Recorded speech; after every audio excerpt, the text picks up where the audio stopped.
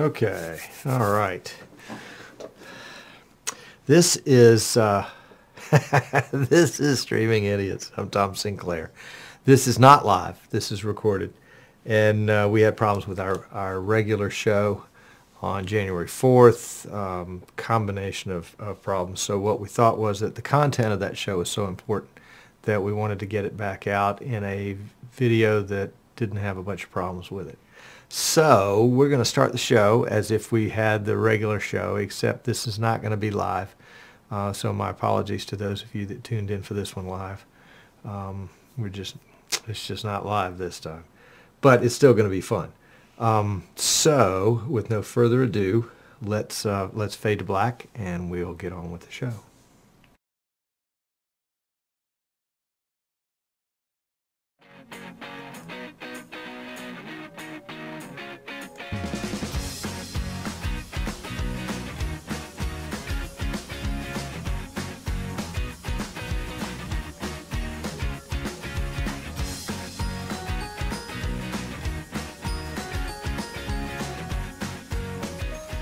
Hey, hey, I'm Tom Sinclair, and this is Streaming Idiots. We are recording this show not live. We were recording it on Friday, January 6th, because we had some um, we had some problems with the live version on January 4th. Um, so we took that down because it was only a part of the show, and and the uh, what happened was the internet just went south. And not only did the internet went south, but the the show host went south because I love my little X key controller here. And I made the mistake of making this one button that's closest to my finger be the one that stops the recording. So you know what happened halfway through the live broadcast. Uh, the internet went south and I stopped the recording. So I got to stay away from that button. Um, anyway, I love the X keys, and we're, we're carrying those that are in our store at easternshorebroadcasting.com. Today, the subject for today's show is going to be a lot of fun. Um, I can't I can't wait to to get into it. Uh, let's see if we can get it queued up here. Yeah, there we go. And the the subject today's show is to how to add a guest um, in Zoom using Zoom in vMix and and there've been a lot of questions about that the uh, we'll, we'll go over the, the video part, the, the audio part, and the vMix part um, here in, in just a second. But before we do, I want to welcome and thank you, uh, those of you that have subscribed to our Facebook page since the last time we, since since last week's show. There's there's March Hertz, uh, Daniel, Jas, Jasic, uh, Ricky, Ron, Eric, Mr. David Sams, 51, um, Shaquille Music, Dennis, Howard, Marta, Arlie, and Ted. Thank you so much. I'm, I'm always honored when folks take the time to subscribe. And, uh, you know, that says you're interested in what we're doing. The, the benefits of subscribing are, number one, it's on your list so you can go back and see what we've got going and it'll be easier for you to find on your YouTube page. But the other benefit is when we go live, you'll get an email notice that we've gone live. And when we upload a video, you'll get a notice that we've uploaded a video. So you, you kind of get, at least you, you could ignore us if you want to. Um, but thank you for, for subscribing. And if you're watching this on YouTube and you haven't subscribed, you know, click that little subscribe button. And I promise uh, all you'll get is, is an email from us. We won't, we won't bother you other than that. Um, the other is that we we are adding this week to our, our website again easternshorebroadcasting.com. We're adding the uh, the vMix reference system, the Emerald system, to our our our lineup. So if you're if you've been thinking about a custom PC because we do the custom PCs and you go I don't know that you know we want to do custom. Uh, if you want an off-the-shelf PC that was built specifically for vMix, you can get those there. And, um, and certainly if you have any questions, you can shoot me an email, tom at easternshorebroadcasting.com.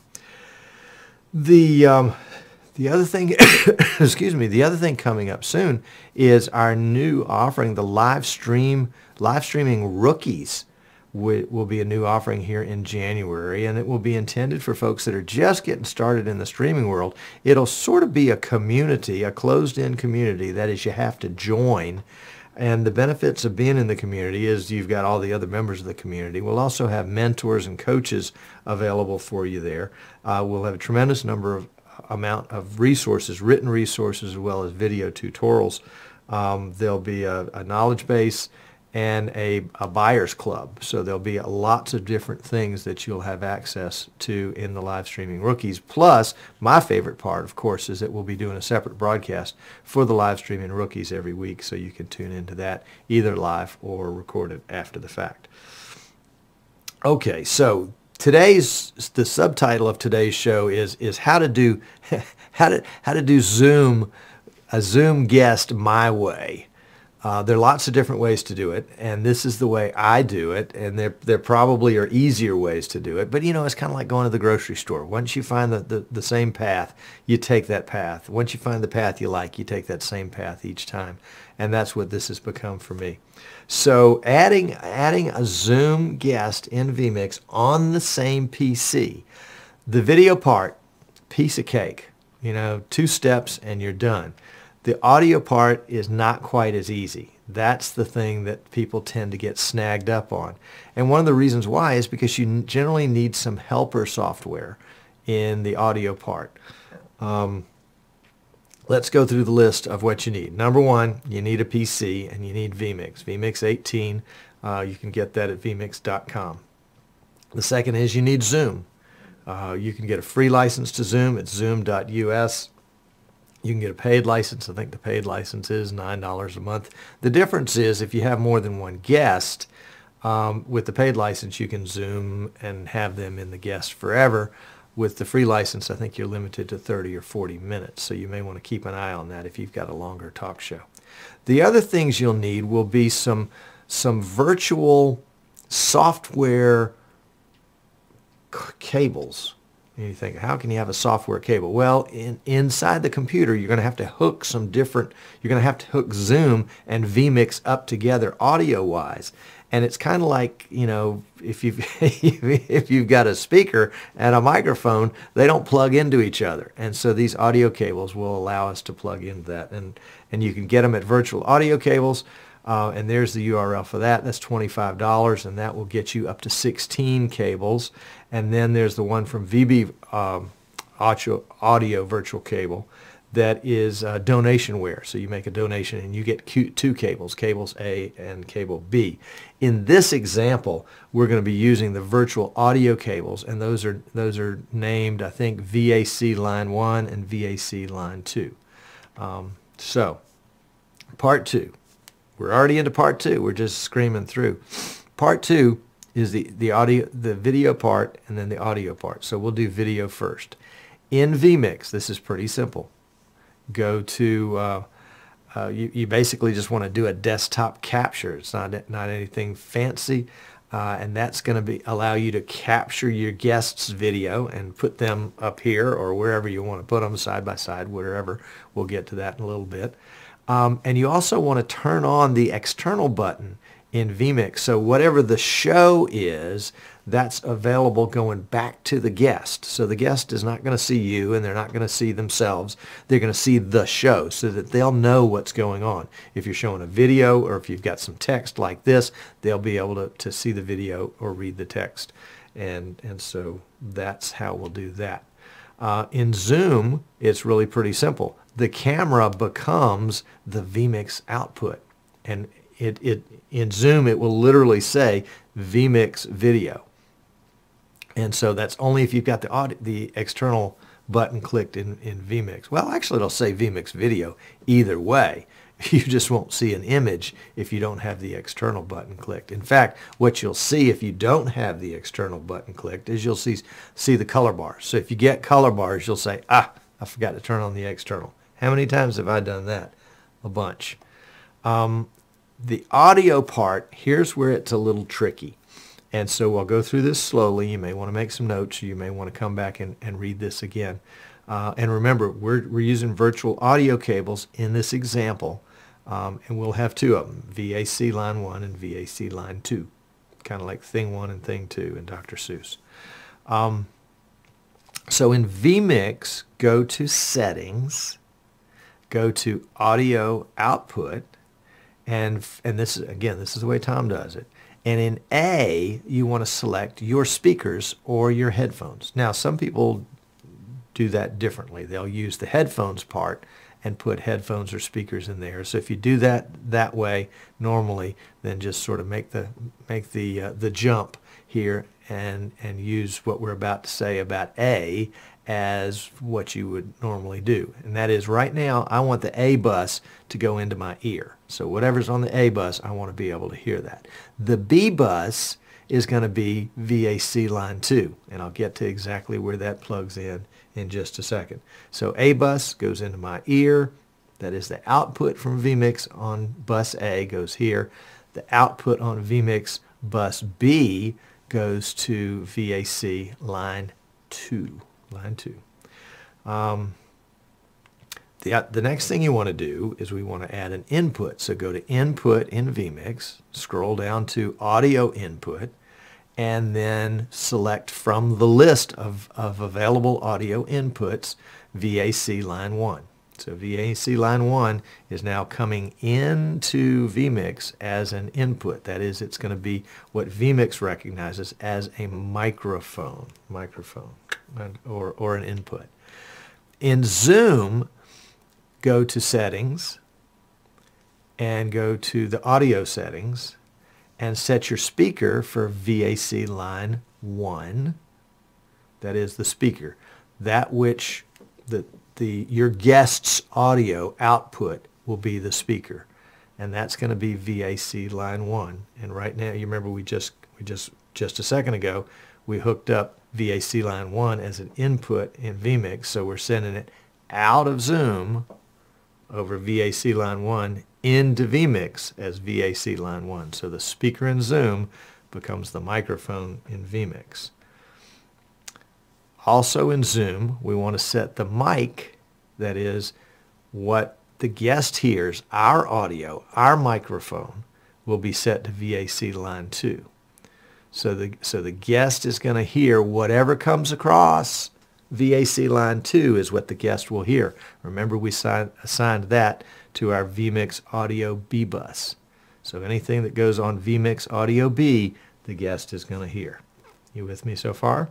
Raise your hand if you're not. Okay, good.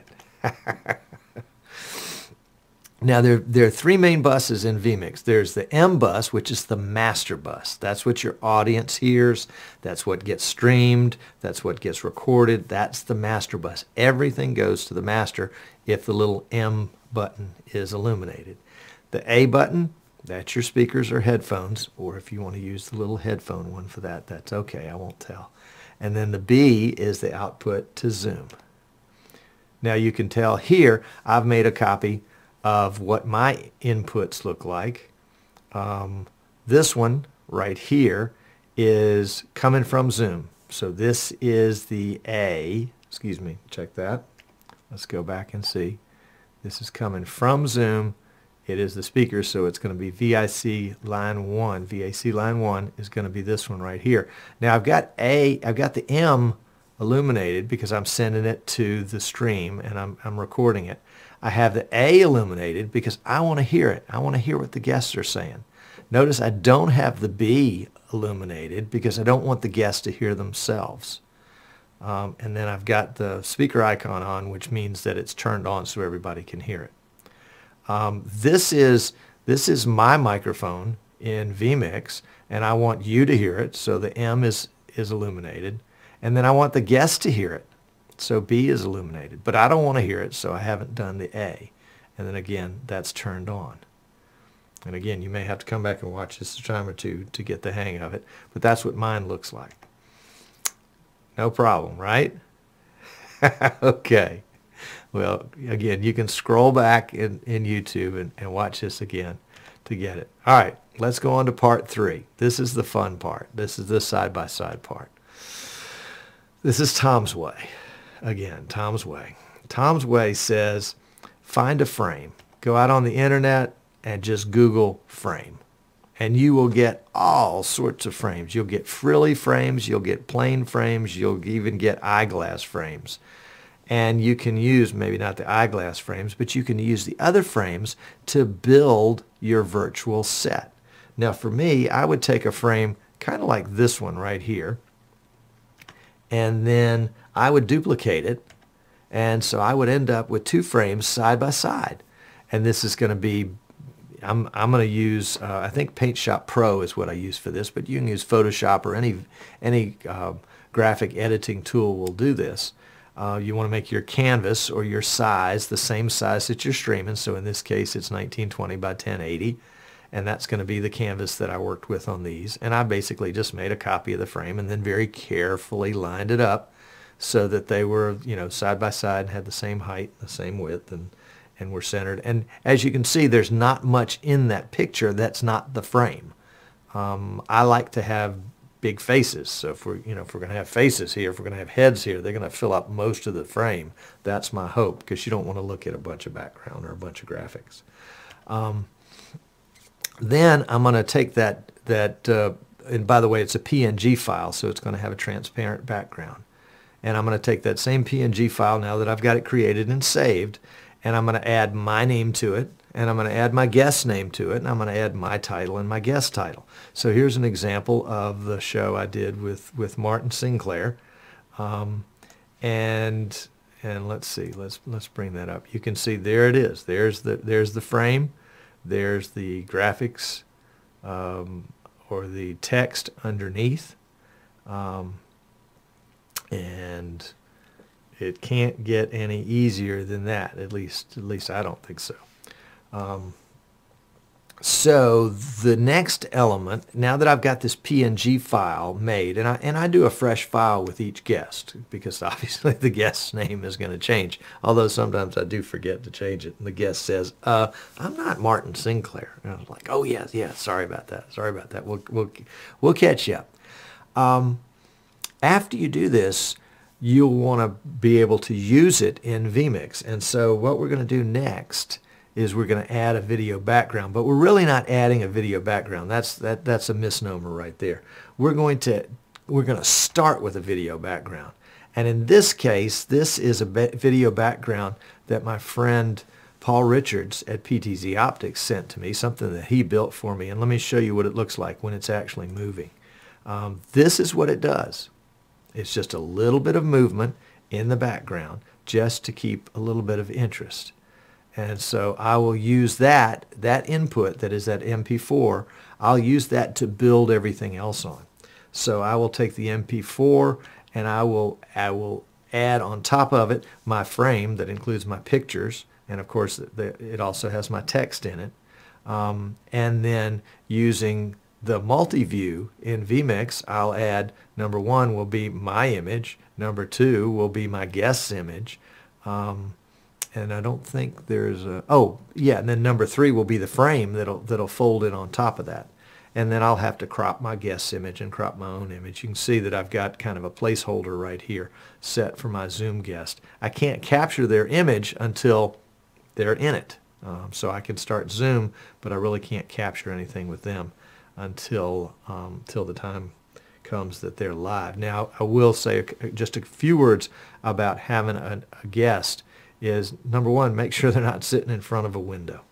Um, how many times have I told the guest, ah, no, you can't sit in front of a window because all I get is, is, is, is a shadow in your face. Um, and a lot of people like to put a lot of lights on. And I'm saying, you know, if you wear glasses like I do, you can see I got my lights out to the side um, but when I'm facing forward, for the most part, I don't have a lot of glare there. So place the, place the lights out. Um, if, if they have a green screen, that'll be a whole nother conversation. We'll talk about them. But they need to have they need to be well lit. And as a general rule, there needs to be very little space between the top of their head and the and the and the very top of the the, the camera frame, um, because you're going to take this wide shot right here and you're going to crop it right here. So anything that's out here really doesn't matter, as you can see it in that picture right there. I'm not I'm not very well on center, um, but you can see there's there's not very. If if I were on center and if I were sitting up straight, um, I would take up the the bulk of the frame, and I think that's what you want. You don't want a lot of headroom up here because it doesn't do anything for you. Uh, let's see. Let's go on to the next one there, and then the finished product is going to look something like that. Um, as you can see that Gerald and I, this was late in the show, we're both kind of slouching down a little bit. We could be could be up a little straighter. Um, but it makes for a really interesting look, and you can see that the, the, the video is going to be um, the MP4 right in here is going to be moving a little bit, and so it will add some visual interest to the show, and it and it makes a pretty good frame. It uh, it's easy, it's cheap, um, it it it's not something that's going to be that hard to do to get the graphics right. The most difficult part is the audio part, and that's because you have to you have to link the speaker in Zoom to the mic in vMix and the mic in Zoom to essentially the, the audio output in, in vMix. And that's, that's where it gets a little tricky. But if you'll take it one step at a time and go through and, and, you know, like I did, if you have to, just make a little chart. And the chart just basically says that connects to that, that connects to that, that connects to that.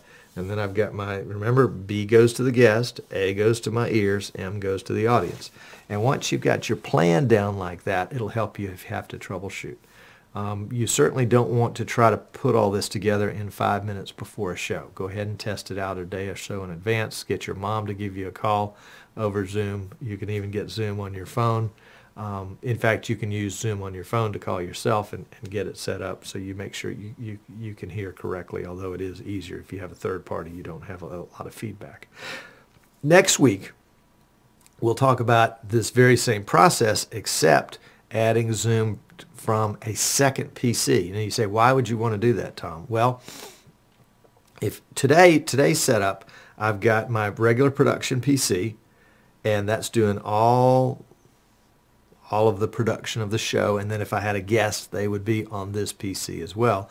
And I'm using my laptop over here to, uh, to stream and record. If I had a second, or if, if I had a, a if I was going to use a second PC, um, like if I was going to use this laptop, I'd have to bring the audio in to the first PC, and that's where it gets a little different um, and difficult sometimes the the idea of using a second PC for me was most effective when I'm using a second PC and a third PC. That is, I've got two different guests coming in with two different instances of Zoom. And, and frankly, every time I've said Zoom, you can use Skype if you prefer. I just happen to have better better video with Zoom than I do with, oh, excuse me, yeah, with Zoom than I do with Skype as, a, as for the most part. Um, if you use two separate instances, one on the second PC and one on the third PC, then you're going to get a single, a single um, image of video from each one. If you try to use Zoom or Skype on the same PC um, with one instance of Skype or one instance of Zoom, what you're going to get is two guests side by side. And if, if one guest shows up late, uh, then you're just going to get the one big guest. And if you're doing a capture, again, you're capturing. All of a sudden, if you get a capture, you're now going to get a window that's half of this and half of that. Um, and so you're going to have to capture each one of those windows as a separate capture and then bring them into your into your vMix production that way.